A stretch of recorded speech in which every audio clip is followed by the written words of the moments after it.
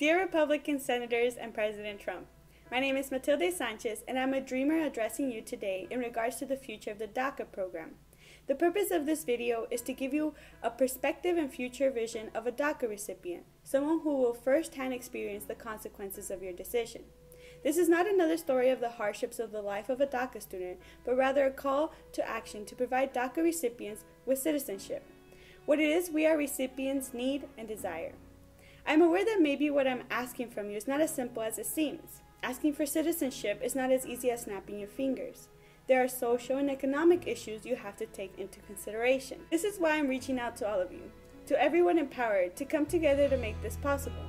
Looking towards the history of change in this country, we are taught that through unity we can make a difference. The words of Martin Luther King Jr., Malcolm X, and Reverend Barber all resonate with this belief. Unity is a solution to this concern.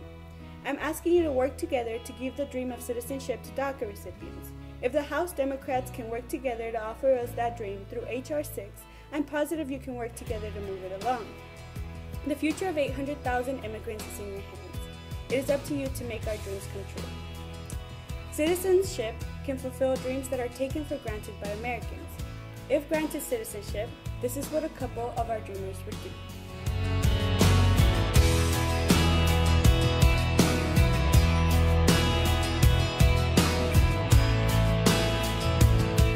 Citizenship, I would travel back to Mexico, uh, visit my family, my grandparents, since I've never met them. I would definitely go back to my home country to visit my family. Probably go back to Mexico so I can see my family that I haven't seen in over 13 years, like my grandma and my uncles and stuff.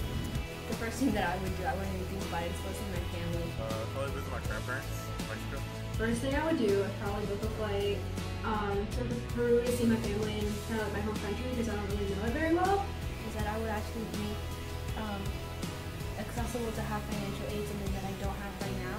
I would um, apply for financial aid, federal aid, and um, try to get into a school that I really want to. And like my dream school is University of Toronto in Canada, so I would definitely go there and study. I also would like to go to the Galapagos to just be in nature because I like being in nature. Uh, save up money to travel. I'd probably I want to go to Greece, Italy, um, places in the Middle East. I would travel a lot. I would do simple things such as go around the country or go around town without having to worry about something. And I would also like travel the world because it's something I don't have the luxury to do right now. I would definitely buy a home and then buy it for my parents and then buy me a home. I would first vote for elected officials, and then I myself would move in the politi- uh, political sphere and run for political office. Um, I would also vote 110%. Um, probably looking for the military, so everything I really wanted to do that in high school.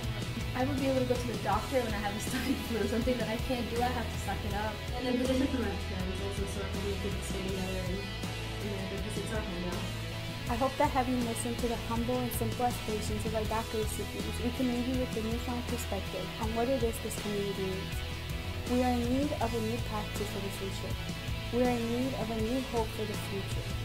We are in need of your unity to make this happen. It is time for this community to wake up without the fear of what tomorrow will bring. It is time to act now.